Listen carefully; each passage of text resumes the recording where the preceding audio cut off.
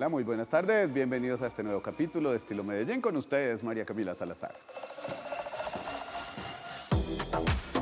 Sabemos que la comedia últimamente ha estado mucho en tendencia y lo estamos viendo mucho en redes sociales, en la actuación, lo estamos viendo como muy, muy integrado a la vida cotidiana. Aparte que la comedia nos ayuda a ver el mundo como desde una perspectiva diferente y aparte es una terapia antiestrés, entonces vamos a conocer a Vicky Berrío.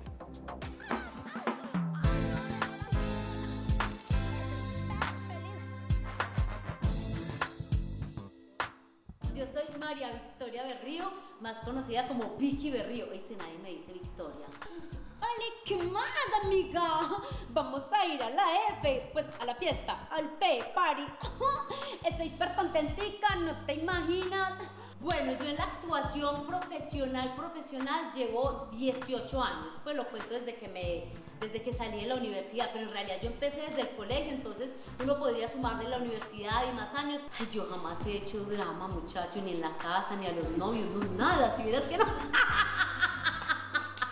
El drama me lo aguanto yo sola. No, en realidad siempre me ha gustado más la comedia y me va mejor en la comedia. Yo creo que hay que conocerse un poquito para uno saber en qué le va mejor y trabajar en eso, porque una vez intenté hacer drama y me fue súper mal y no me volvieron a llamar. Tengo acá en Acción Impro una señora que amo, que es la de los servicios generales y es Araminta.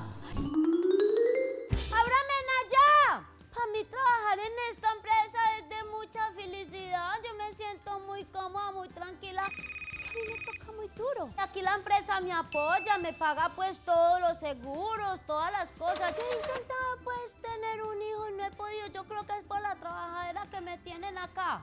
Y tengo también rubia pero sencilla, pero es un personaje, en realidad soy yo.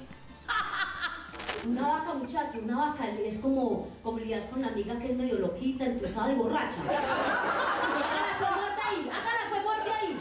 Vamos para la casa y ella quiere volver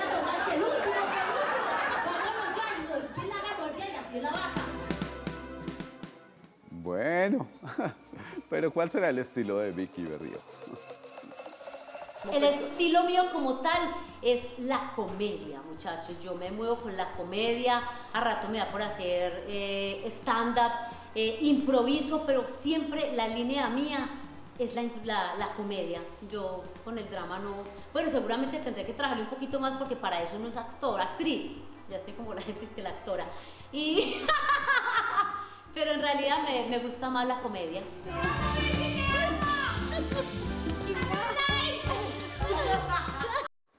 Bueno, la comedia y el drama siempre han estado como mezcladas la- en, en la rama de la actuación. O la gente se va por un lado o se va por el otro. Y generalmente unos no hacen lo mismo que lo otro, pero en fin, usted, usted ha estado en muchos, usted ha estado en muchos temas de actuación también. Cuénteme, cuéntenos, Cavi, un poco cómo ha sido esa experiencia actoral, en dónde ha actuado. Bueno, que, creo que principalmente es importante aprender a soltarse frente a las cámaras, manejar las expresiones, el tono de voz también es demasiado importante. Eh, cuando yo vi clases de actuación empezábamos como con juegos para distraernos, soltarnos un poquito, liberar estrés y soltarnos más frente a las cámaras. Ya después empezamos a ver el tema de la voz, la actuación, los gestos, todo eso. Yo personalmente creo que serviría más para actuar en drama. En drama Es- porque como es- comediante no me va bien. Es completamente diferente. Yo cu- recuerdo una época en que, en que grababan Betty la Fea en el canal RTN. Cuando llegaba la hora de la escena, todo el mundo estaba muy contento, pero fuera de las escenas peleaban todo el tiempo, se la pasaban agarrados. Entonces uno dice cómo es la capacidad que tienen los actores de un momento a otro estar en un drama o estar así y pum, y transformarse. Eso es capacidad actoral. Aparte lo relajante que es reírse, yo creo que a los comediantes pues les sirve mucho eso como terapia, es terapéutico reírse, pasarla bien, también interactuar y para ellos, para la gente que los ve también debe ser súper bueno. Hay en este momento además un interés por todos los jóvenes creadores de redes sociales por hacer, sobre todo los TikTokers, por hacer humor. Están inventándose una nueva manera de hacer humor. Entonces yo creo que todos estamos muy pendientes del humor porque en el humor también está el estilo. Sí, eso está súper en tendencia.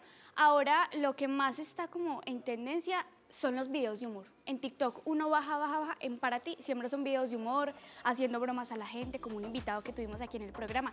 Siempre son de humor. Muy bien. Entonces, nada, me encantó este capítulo de hoy. Sigan conectados con toda la programación de Telemedellín. Aquí te ves y recuerden que la moda pasa, pero el estilo permanece.